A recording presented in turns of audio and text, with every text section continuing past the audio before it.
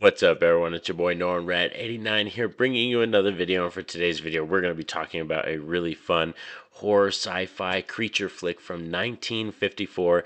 This one's called Them and this is really exciting. This was a first time watch for me and like I said I told you I was going to be diving into a lot of black and white horror films and this is a really big creature feature that I wanted to talk about. Yes, this isn't a Universal Studios type production. This is a Warner Brothers studio production, but this is a creature flick and these were really big too back in the 50s and stuff. So this one is going to be really fun to talk about today. You're going to hear my positives, the negatives, and then I'm going to tell you kind of what tier it falls into with these black and white films that I've been talking about recently. So let's get into this. Roll it.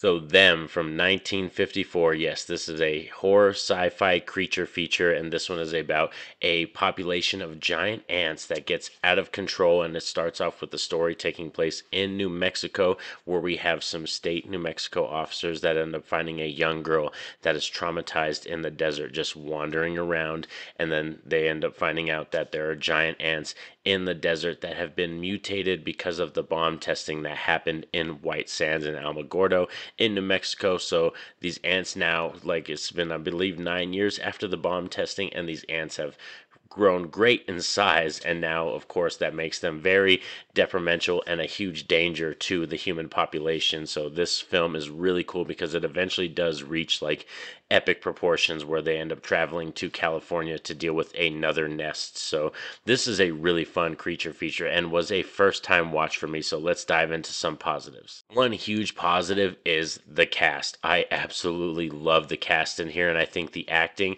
from the actors and the actresses across the board fantastic. We have James Arness in here, James Whitmore, Joan Weldon, and Ed, Edmund Gwenn. So really a fantastic cast of old, you know, old actors from back in the day, but they do a fantastic job. Specifically, I love the police sergeant, of course. I think he does a great job, James Whitmore, and also Joan, Joan Weldon as Dr. Patricia. Great for real. And to be honest, Dr. Patricia, because like for real, she is absolutely stunning in this film when you especially when you have her shot in black and white that's one key positive right there also is the cinematography and the black and white nature of this film. And i found it quite interesting when i was doing research on this film that originally warner brothers wanted to do this film in a 3d format and in color. That's why when you see the title screen if you watch this film it's currently streaming on tubi. By the way that's where i checked out this film and when you watch it the title sequence when it pops up them it is in color and it comes at you like right in the face and also when you see some of the sequences and action sequences in the film they're shooting directly straight at the camera, you know, with the flamethrowers or the way that the action portrays or the way the ants come at you. So, yes, this film was supposed to be in 3D, but after a malfunctioning 3D camera, or the technology that they were going to use just malfunctioned, they decided to shoot this film in widescreen black and white. Another huge positive that I love about this movie is that I am a New Mexico boy. I'm born and raised New Mexico. So when you have this taking place with the whole, you know, atomic background of the bombs being testing in New Mexico and that influencing, you know, the ants being mutated and stuff and having the state police officers being from New Mexico, just the investigation stuff, the desert setting, even though they didn't shoot this in New Mexico, they shot this in the Mojave Desert in California, but they really tried to make it look like New Mexico. But, you know, it's still, like I said, I really does call close to home because, like I said, I'm born and raised from out here. So when you started off there, they eventually go to California, though, because when they're trying to destroy the nest in New Mexico, two young queen ants are born and hatched, and they end up flying and getting away, and they have to track them down. So, this film is really cool because it's a creature feature that keeps you involved. It keeps you invested in the story with these great actors and actresses that just pull you in, and it has information and explanation and kind of like epilogue story dump stuff, but it doesn't bog the movie down. Like usually that kind of takes the pacing of the movie down. This film has some really cool information and really cool representations of characters and the way that characters blend together. Specifically, we have Robert Graham who plays a, is an FBI agent. Robert Graham is one of the FBI agents in this film, and when the scientists get brought in, and especially when he's talking to Dr. Patricia on a helicopter, it's kind of crazy how she displays her intelligence and uses these words and these dialogues and stuff that he doesn't know. So it kind of upsets him, and it's really cool to see that dynamic play out.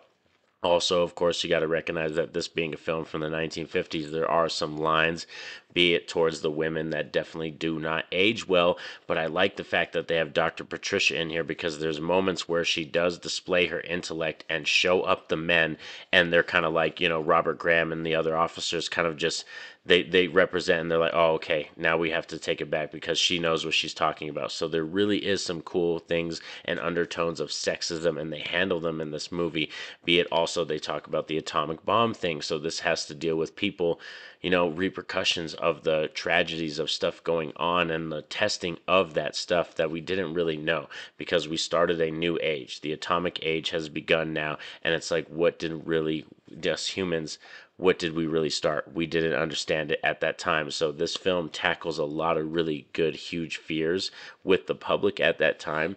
And like I said, this is one of those movies I'm talking to you and kind of gushing about it right now that where has it been all my life? I also am blown away by the creature designs and the set designs and what they were able to pull off, especially for 1954. This film looks fabulous, and as it was going on, I was just getting sucked in, and every moment captured me. The characters, like I said, the set design, the music, the sound effects, and everything. So, for real, this movie is off the charts. One of those films that I will absolutely thoroughly love returning to because this is a creature feature that is a basic huge like template I can see from back in the day as how you do creature features. I also thought it was really cool that the Wilhelm scream, which is a famous stock of Scream that a lot of films, horror films, and monster flicks use was created three years earlier, and it's used three times in this film, which is kind of funny. One of our characters gets attacked by one of the giant ants, and he gets captured, and you hear the scream. Another one, you hear like a beam falls on an officer when they're trying to go underground to track the ants down,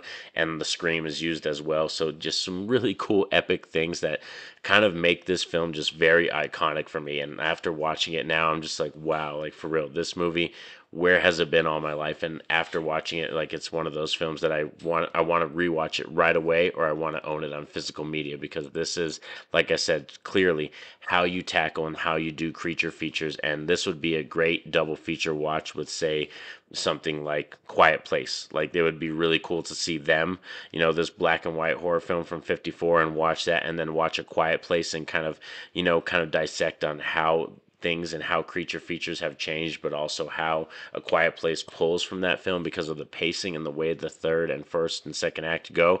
There's a lot of elements that are very similar. So I had an absolutely fantastic time with this film. And in terms of negatives from me, you are not going to get any negatives for this film. For real, this is probably one of the easiest five stars or like 10 out of 10s that I've ever given. I'm so comfortable with giving this film a five star or a 10 out of 10. I do have Letterboxd. if you want to follow me on Letterboxd, I'll have that link in the description. I did do this film on Letterboxd and log it and stuff and it's just for real. It was so comfortable and so easy just to click that five star because this was an absolutely fantastic watch. And in terms of where it would rank in the tier ranking of these black and white films that I've been recently talking about over the last few weeks, it's going to go straight up into that tier A spot because this is an absolute classic and one that I herald to me is like being one of the greatest and best horror sci fi films that I've ever seen in my life please let me know down below in the comments section what do you think of them. If you haven't seen this film like i said it is currently streaming on tubi. That's where you can check it out. And man like i said i highly recommend this film. This is one of those movies that i would talk to you know movie fans or cinephiles or people coming up or young kids. I'd be like this is an absolute must watch. Even if you're only going to watch this film one time you have to see this film because I think it is a fantastic and absolutely stunning piece of cinema. And like I said, the stuff that they're able to tackle in just about an hour and 24 minutes. I think this movie is only like an hour and 25 minutes. The story elements and the acting and the, the, the action in it is just absolutely superb for a movie like this. So I highly, like I said, highly recommend it. But please like the video. That definitely helps out the channel. Subscribe if you're new to the channel and have that notification bell poked so you're notified anytime I drop a video. But most importantly, I want y'all to have a safe and happy day. Peace out.